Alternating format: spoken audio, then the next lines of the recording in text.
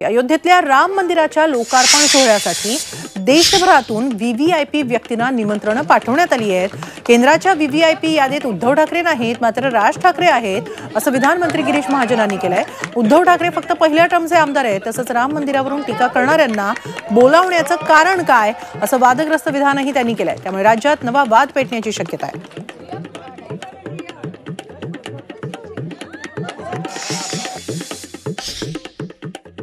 केंद्र सरकारला जे वाटतं आहे ते व्ही व्ही आय पी यादीमध्ये आहेत. त्यांना जे अपेक्षित आहेत ते त्या ठिकाणी जाणार आहेत. आणि म्हणून त्यांनी राज ठाकरेंना दिलेलं आहे उद्धवजींना दिलेलं नाही आहे कोणाला दिलं आहे काय हा त्यांचा प्रश्न केंद्र सरकारचा प्रश्न आहे.